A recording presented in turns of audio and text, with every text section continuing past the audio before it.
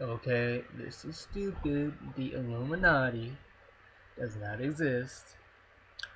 You are a dumbass. And I hope you realize that eventually. And the fact you took all that time just to look at the numerology in my name. Yeah, I'm gonna have to say you're a loser with no name. I mean, like, if you have to put that much time and effort, I mean,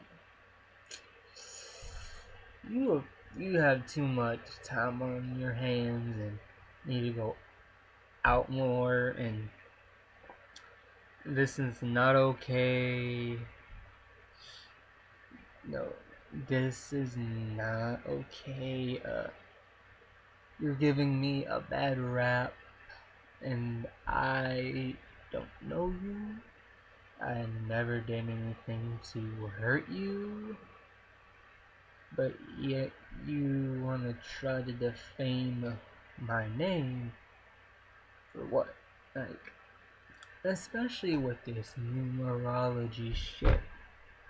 Like, ugh, it makes my head go like, bleh, bleh. Because it's so freaking stupid. It doesn't exist, people, and if you believe it, from the bottom of my heart, please get some type of mental evaluation. There was no 13 freaking families trying to control the world. They're who run every government, who have hidden signs in music and art and movies. I'm sorry, but it just doesn't work like that.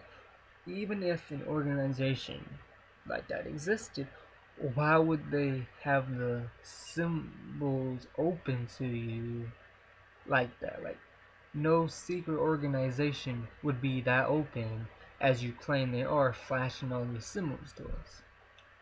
That kind of goes against a secret organization.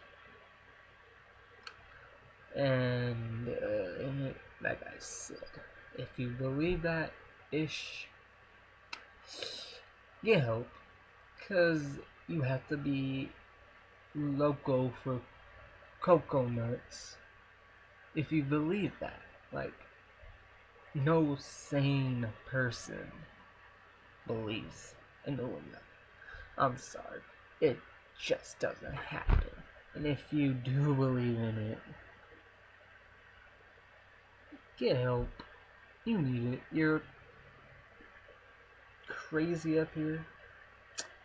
And uh, I have nothing more to say than just get help.